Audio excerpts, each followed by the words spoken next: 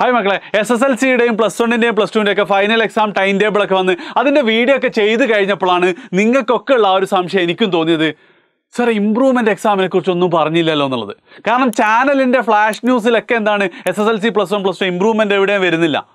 അപ്പം ഞാൻ തീരുമാനിച്ചു ശിവൻകുട്ടിയുടെ പിന്നെ ആ പത്രസമ്മേളനം മുഴുവനായിട്ടൊന്ന് കാണാനും. പക്ഷെ അതിൽ നിങ്ങളൊന്ന് കണ്ടോക്ക് രണ്ടായിരത്തി ഇരുപത്തിനാലിൽ നടന്ന നടന്ന ഒന്നാം വർഷ ഹയർ സെക്കൻഡറി പരീക്ഷയുടെ ഇമ്പ്രൂവ്മെന്റ് സപ്ലിമെന്ററി പരീക്ഷകൾ നടത്തുന്നത് ഒന്നാം വർഷ ഹയർ സെക്കൻഡറി പരീക്ഷയോടൊപ്പം അതേ ടൈം ടേബിളിലാണ്. ഇതിൽ ശരിക്കും കൃത്യമായിട്ട് പറയുന്നുണ്ട് അല്ലേ? അതായത് ഒരു കാര്യം വളരെ കൃത്യമായിട്ട് പറയുന്നുണ്ട്. ഒരു കാര്യത്തിൽ കൺഫ്യൂഷൻ ഇപ്പോഴും ഉണ്ട്. അതായത് കൃത്യമായി പറയുന്ന കാര്യം പ്ലസ് ടു വിദ്യാർത്ഥികളുടെ plus one improvement exam plus വണ്ണിന്റെ അതേ സമയത്ത് അതേ ടൈം ടേബിളിലാണ് നടക്കുക എന്ന് പറയുന്നുണ്ട്. നമ്മൾ നേരത്തെ പറഞ്ഞതുപോലെ തന്നെ. പക്ഷേ ഇവിടെ വീണ്ടും ഒരു ക്വസ്റ്റ്യൻ ഉണ്ട്. ടൈം ടേബിളിലാണ് നടക്കുക എന്ന് പറഞ്ഞാൽ പ്ലസ് വണ്ണിന്റെ മാത്സ് എക്സാം എപ്പോഴാണോ? അന്ന് തന്നെയായിരിക്കും പ്ലസ് ടു കുട്ടികളുടെ ഇമ്പ്രൂവ്മെന്റിന്റെ മാത്സ് എക്സാമും പക്ഷെ അവിടെ വീണ്ടും ഉള്ളത് എന്താ വെച്ചാൽ ക്വസ്റ്റ്യൻ പേപ്പർ ക്വസ്റ്റ്യൻ പേപ്പർ ഏതായിരിക്കും എന്നുള്ളതാണ്. കാരണം അത് വളരെ വളരെ ക്രിട്ടിക്കൽ ആയിട്ടുള്ള ഒരു കാര്യം അല്ലേ? അതായത് ഇത് കണ്ടുകൊണ്ടിരിക്കുന്ന പത്രപ്രവർത്തകർ ആരെങ്കിലും ഇപ്പം ഞാനൊക്കെയാണ് എന്തായാലും ചോദിക്കുക സാറേ ക്വസ്റ്റ്യൻ പേപ്പർ പ്ലസ് വണ്ണിന്റെ ആയിരിക്കും അല്ലെങ്കിൽ ഇമ്പ്രൂവ്മെന്റ് വേറെ തന്നെ ആയിരിക്കും എന്നുള്ളത്? അതിന്റെ ഉത്തരം ഇതുവരെ കിട്ടിയിട്ടില്ല.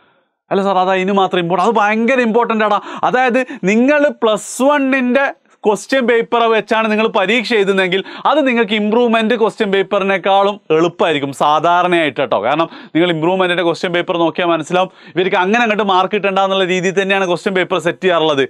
ഇനിയിപ്പോൾ അങ്ങനെയല്ല ആ സെയിം ഡേറ്റിന് പ്ലസ് ടുയുടെ ഇമ്പ്രൂവ്മെന്റ് എക്സാം ഇമ്പ്രൂവ്മെന്റ് എക്സാം വേറെ തന്നെ ക്വസ്റ്റ്യൻ പേപ്പർ ആണെങ്കിൽ ചിലപ്പോൾ നമ്മൾ പഠിക്കുന്ന പ്രിപ്പയർ ചെയ്യുന്ന രീതിയൊക്കെ മാറേണ്ടി വരും. സോ ഈ ഒരു കാര്യത്തിൽ എത്രയും പെട്ടെന്ന് എന്ത് ചെയ്യണം? സർക്കാർ ഒരു തീരുമാനത്തിൽ എത്തിക്കണം മാക്സിമം നിങ്ങൾ ഈ വീഡിയോ ഷെയർ ചെയ്ത് കഴിഞ്ഞാൽ ഉറപ്പായിട്ട് എന്താണ്? ഇത് ബന്ധപ്പെട്ട ആൾക്കാരിലേക്ക് എത്തും. അവർ അതിലൊരു ക്ലാരിറ്റി വരും. വരുത്തുക തന്നെ ചെയ്യും. ഒരു പത്രക്കുറപ്പ് ഇറക്കിയാൽ മതി. പിന്നെ ഒരു കാര്യം കൂടെ നിങ്ങൾക്ക് എന്താ തോന്നുന്നത്? ഓപ്ഷൻ എ എന്ന് പറയുന്നത് എന്താ പറയുക പ്ലസ് വണ്ണിന്റെ ക്വസ്റ്റ്യൻ പേപ്പർ തന്നെ ആയിരിക്കോ അല്ലെങ്കിൽ ഓപ്ഷൻ ബി എന്ന് പറയുന്നത് ഇമ്പ്രൂവ്മെന്റിന് സ്പെഷ്യൽ ക്വസ്റ്റ്യൻ പേപ്പർ ആയിരിക്കോ? നിങ്ങളൊന്ന് കമന്റ് ചെയ്യുക പക്ഷേ ഇത് എന്താണെങ്കിലും എന്താണ്?